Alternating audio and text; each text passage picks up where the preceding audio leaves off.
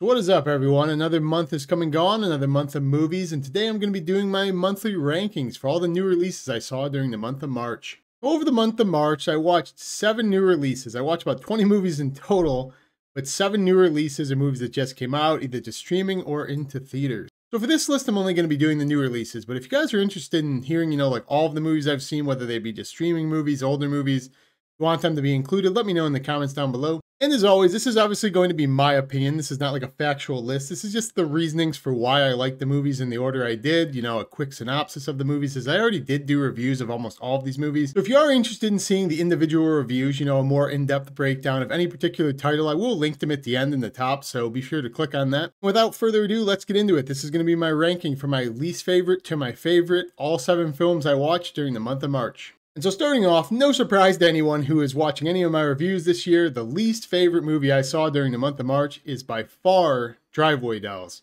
Now this movie is just an absolute train wreck. I don't know where to start with this movie. I mean, there was no plot to this movie. It was just an arm running joke that never landed for me. And so much so, as I said in my review, it's inconceivable that the people who made No Country for Old Men made this movie, as I fucking hated this movie. This I didn't like anything about this movie. I mean, this movie's so bad, it's easily the worst movie I've seen of the year so far, and it might be one of the worst movies I've ever seen, as I went into detail on. All of the dialogue is just an on running gag joke about like lesbian sex jokes. There's no plot. I mean, Ethan Coen's obviously a hack if he's the one who wrote this. I mean, I wouldn't wish this movie on my worst enemy. This is one of the most miserable movie going experiences I've ever had. It's like 90 minutes. It felt like four hours. So yeah, if I do a follow up list to this, maybe like movies of the year I saw, things like that, do not be surprised if this one's holding down a top spot. This one's going to be there in the end because my God, this movie was bad. And also, no surprise, coming in at number six is Madame Web. Now, let me be clear Madame Web is bad, but Madame Web is staunchly better than Drive-Away Dolls. So much so, in fact, that led me on this little crusade where I was kind of like adamant that Madame Web is like not as bad as people said it was. I mean, don't get me wrong, this movie is absolute dog shit. It's terrible. There's so many things wrong with it. There's no plot. The audio dubbing is terrible. The actors phoned it in. But all that being said, it's still not nearly as bad as number seven. So that is a consolation prize, Madame Web. My main gripe with Madame Web is aside from all of the negatives I listed, you know, the main villain's lips not matching his audio, this movie was just boring as shit. Like, this was the most coma inducing movie I saw on this list. This was the hardest watch. Not hard in the fact that the movie was bad. As I said, there's a movie worse than this, but this movie was so slow. I mean, this movie's like 90 minutes on VOD. I watched it at home and it felt like three hours. I kept having to pause it to get snacks, go to the bathroom, things to break up the runtime because nothing happens in this movie. And that's my biggest gripe about this movie. It's just a boring, forgettable movie. I mean, as bad as everything is, it's overratedly bad. Don't get me wrong. I've seen a lot worse movies than Madame Web, but it's damn bad. And for that reason, and along with all the plethora of issues this movie has in terms of like, you know, product placement in the movie, the studio, you know, over editing it and post production dubbing, this movie's easy number six. So when we get to number five, we're starting to get the movies that are actually watchable. These are movies that aren't going to leave you scarred with PTSD from how bad they were. Damsel, a Netflix exclusive starring Millie Bobby Brown. And there was nothing particularly like bad about this movie. I mean, it's just like a forgettable movie. It's a Netflix movie. They're pretty much known for this at this point. And obviously, this movie's kind of Netflix's play on like a princess taking on a dragon. You know, she's a strong, independent woman. Yada, yada, yada. We've seen it all before. And aside from the cinematography, like the CGI, the dragons, things like that, this movie's just entirely forgettable. All of the dialogue, you know, the dialogue there is. Really, the only saving grace is, is the CGI and the acting. I think Millie Bobby Brown's good. I thought Robin Wright was good, as I said. But honestly, that's because the standard for Netflix is so low at this point. I mean, they even put out a watchable movie. It's well above average for Netflix standards. And when I was going back over this list, I was thinking, what movies would I not rewatch? Which movies were boring, aside from the really bad ones? This was easily, out of all the watchable movies, the movie I would like never rewatch. And obviously, taking a little bit of context clues, it's a PG 13 Netflix movie. It's not too serious. I went pretty easy on it in my review, but I mean, overall, it was just forgettable just a super cliche princess and a dilemma, you know, a movie we've seen 150 times. It was just a, you know, a movie with a pretty big budget, so it was pretty watchable. Now, surprisingly for me, coming in at number four was actually Immaculate, starring Sydney Sweeney. Now, as a little bit of a preface, I'm one of these people who, as a horror fan, is pretty predisposed to not be super into religious horror. I don't know what it is, but for some reason it really doesn't hit with me most of the time. I feel like I've seen it a lot. It's pretty tropey, so For me personally, I found the vast majority of this movie pretty boring and it didn't really age well in my head the longer it went on. And even as I sit here and I kind of recall the movie, you know, the pacing of the movie, the ending, I mean, it just doesn't age well in my head. I mean, it's just something I really don't want to revisit. And as I said in my review, I couldn't see anything. So, like, in the middle of the movie, I didn't really know what was going on half the time because it felt like the movie was pitch black. And that should be pretty telling that I'm not really interested in revisiting it to kind of figure out what's going on or if it was my theater. I just feel like the first half of the movie was completely boring, completely tropey. We've seen it like 15 times. I mean, the cinematography is good for what you see, but vast majority of it was dark. As I said in my review, Sydney Sweeney's great in this movie. I thought she basically saved the movie, and the ending was pretty good too. Like the third act, the final 15 minutes, but it felt really rushed. Like they needed to let you sit with it for like a couple more minutes and kind of enjoy it, but they kind of wrap it up really fast. But yeah, by no means a bad movie. I mean, I've seen a lot of people praising this movie, other reviewers and stuff. They were a lot bigger fans of the early parts of it than me. You know, some people like the slow burn. Doesn't really work for me, but as I said, I'm kind of predisposed to not really liking a lot of these religious movies. So, you know, take that with a grain of salt. In conclusion, that being said, you could definitely find yourself watching a lot worse, like religious horror than this. So, that reason, I mean, if you're into these movies, I would recommend it. But for me personally, wasn't really my cup of tea. So coming in at number three is a movie that I think came out last year. I'm not really 100% sure, but I know it dropped on Netflix this March. And that movie is Your Lucky Day, starring Angus Cloud from Euphoria. That's actually why this movie kind of picked up a little bit of traction because I believe it's his last movie before he passed away. What this movie is, is it's one of those movies that kind of takes place in the same setting for the entire movie, kind of like Phone Booth. What you have is you have this cast of characters, a bunch of different people. You have this kind of like, you know, this gangster wannabe criminal.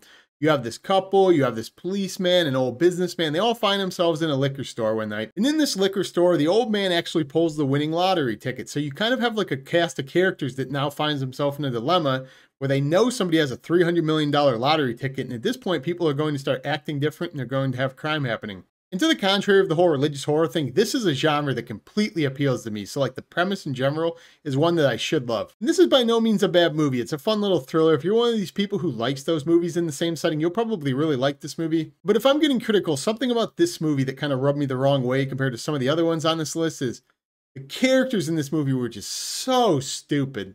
And I'm willing to forgive that usually in like a thriller movie, you know, it's for the sake of entertainment and stuff, but it felt like every scenario in this movie where a character had to do something like to keep the ticket, you know, how they would get away with it, how they would act according to like a police complaint. It was like the dumbest possible resolution. And I actually saw this movie back home with family. So there were numerous people watching it. So we were all kind of in on the joke because we were having a good time with it. You know, like we were enjoying the movie. We were joking about the premise, but we all just got to the point where we thought it was so asinine, so ridiculous the way characters start talking, the way they start acting. It becomes glaringly obvious that like nobody would ever actually make it out of this scenario based on all the plot holes. But given the fact that I'm predisposed to this genre, I thought it was pretty interesting. I thought the acting was, you know, above average. I thought it was an entertaining time, and compared to some of the movies on this list, it's just completely watchable. So if that's your type of movie, I mean, I kind of recommend this movie. You can check it out on Netflix. Again, by no means a bad movie. I mean, I've just seen movies I prefer in this style a little bit more, you know, like Panic Room, Phone Booth, some of those movies. I just think they do it better. And now moving on to number two, by far the weirdest movie on this list. It's kind of actually surprised it's up here for me, and that's Love Lies Bleeding. Now, I did a review on this movie, and I said in that review, and I'm going to double down on it. This movie was A24 as fuck. And when I say that, if you're familiar with their movies, if you know any of their previous titles, you'll know exactly what I mean. This movie is heavy on the weirdness. And this movie starts out where Kristen Stewart works at a gym. She falls for this bodybuilder, Katy O'Brian, who steals the show of this movie, honestly. And what you have is you have this little 80s like love conflict thriller between like a mob boss played by Ed Harris, who has the worst hairdo ever put on a TV screen. And this movie's A24 because it goes, you know, from a slow burn, kind of a romantic thriller, a lot of sex scenes. It just goes 0 to 100 really quick. Graphic violence, the plot picks up these weird metaphorical choices they have, especially the ending. And if you've seen the ending, you know exactly what I mean by that. I mean, they just do a what the. And that's being said, as someone who's seen a lot of these movies, the ending wasn't like as polarizing to me as it will be to a lot of people, where there will be people who probably walk out of a theater because the ending is so weird. But aside from that, I was engaged the whole time. I thought this movie was really interesting. I loved the grimy, like 80s aesthetic. I liked the synth music. I thought on the surface, the storyline, you know, was pretty generic, but I think it was just done so well. I appreciate it. I really felt like it did the 80s well. And as a contrary to number seven, Drive-Away Dolls, as I said in my review, I thought this movie did the lesbian love interest good. I thought both of the actors did a really good job. They convinced me they were actually in love. I thought the love was centric to the plot. And as many sex scenes as they put in this movie, like 15 minutes worth, I was willing to forgive it and just thought it was kind of centric to the plot because you start caring about these characters. You want to see it progress. You want them to get away. I mean, I don't know. Overall, I probably wouldn't rewatch this movie, as I said, but I definitely liked it. I thought it was super unique and it's a memorable movie. At the end of the year, when I look back and I think of, you know, all the movies I might forget, I might remember, this is one of the ones I think I'll remember. And with that, we've made it to the number one spot for the month of March, in my opinion. And to me, this is the biggest surprise of the year so far, by far, and that's Late Night with the Devil. Now, as I said in my review, I didn't know anything about this movie. I've never seen a trailer. I didn't know any of the actors. I didn't know anything about the plot of this movie, so I walked in completely blind. And I said in my review that to enjoy this movie the most, you should know absolutely nothing about it, and I'm doubling down on that. I was brief on the plot and the way I described this because I definitely think this is one of those weird, unique movies where if you know absolutely nothing about it, I think this movie's an absolute hidden gem. Because as I said, this isn't even like a movie. It's like this weird fever dream where you're watching like a 70s late night TV show and I was just so immersed in this movie. That's what I remember about it. I remember forgetting I was watching a movie. I was so into this. I thought the lead in this movie was just absolutely great at playing the late night host. I thought the 70s aesthetic was great in the point I thought I was watching a TV show. I thought the sounds were great. I really liked how they just played it out like a normal 70s TV show. They have like live guests. It gets progressively more serious because you have different guests on. I thought the guests act natural talking to each other. I don't know. For me, this movie just worked on like every level. I mean, this could be a kind of divisive movie too, but I honestly love this movie the point like when it ended i knew it was immediately my favorite movie of the year so far. And it's incredibly unique to me that like in 2024 you can have a movie work this effectively with no jump scares and be a horror movie. That's just so unique when a movie can pull that off nowadays. And again when i look back at the movies this year movies i would recommend to people so far this is the movie that's coming to mind where it's like i want to buy this movie i want to rewatch it. I think this movie's a very memorable movie and it's easily in like that top three, top five of like the religious horror angles. But anyways, guys, that's my ranking for the seven movies I've seen that are new releases for the month of March so far. And as I said, if you guys are interested in me including all the movies I've seen, maybe some older movies, some streaming movies, let me know in the comments down below. And you guys agree with this list so far? Have you seen any of these movies? If you have, comment down below. Let me know what your list would be. Because obviously I didn't get to go to every movie. There's some movies that had no appeal to me and I'm not just going to spend money for the sake of a list. But if you did see some movies you thought were exceptionally good that weren't on the list that came out this month, do comment down below. Maybe I will check them out. But yeah, as I said, I'm just going to keep it brief in this video. I'm going to put a link to the actual reviews up here if you want to see more in-depth takes on any of these movies besides your lucky day. And that's all I got for this video, guys. As always, take care, stay safe.